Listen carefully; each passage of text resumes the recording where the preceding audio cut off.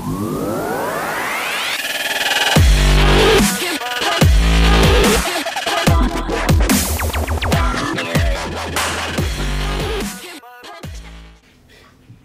1982, a movie was released. It's called Evil Under the Sun. I'm not going to tell you the whole movie because I don't want to spoil it, but I am going to tell you this the good part. In the movie, our hero, or our star, he finds himself at a cocktail party.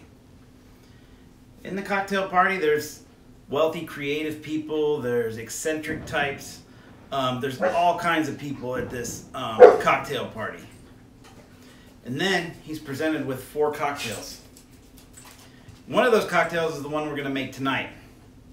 But also, at that cocktail party, he has no idea that he's amongst the killer. That's all I'm going to give you. You got to watch the whole movie to, to see the rest of it if you don't know. All right, the cocktail that he picked, or the cocktail that he, one of the cocktails that he had to choose from was called the White Lady. Now, the White Lady has a history that's almost as tragic as the movie. Um, a guy by the name of Harry McKelm, Mc, McElhone, McClone, uh, I'm not sure how to say his last name, McClone, whatever, claims that in 1919 he created the original recipe for the White Lady. Then in 1999 he claims that he refined his own recipe into the recipe of the white lady that we know as it is now. Did I say 1929? It's 1929.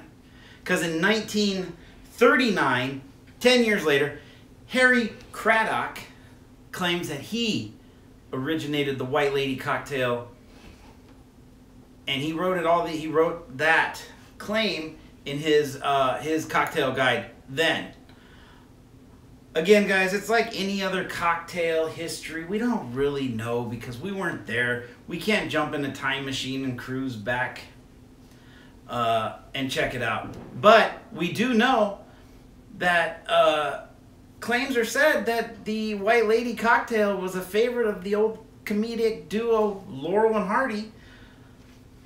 Is it true? I don't know. We don't really know. It's all cocktail history. It's all cocktail lore. But Anyway, we know that it's a great cocktail. And right now, I know that I'm going to show you guys how to make it. We're going to ice our glass.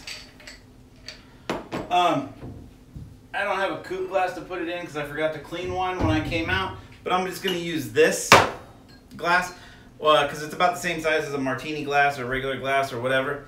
So what I'm going to do is I'm going to add 1.75 ounces of the gin into my mixing glass. I'm going to add another 0.75 ounces of the triple sec into my glass.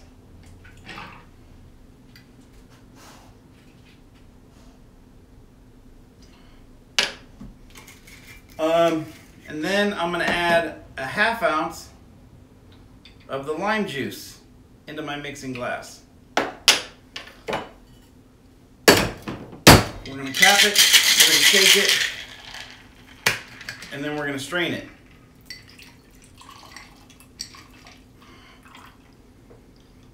Um, you would put that in a mixing glass, garnish it with a lime, put it in a, not a mixing glass, a coupe glass or martini glass, garnish it with a lime, and that's it.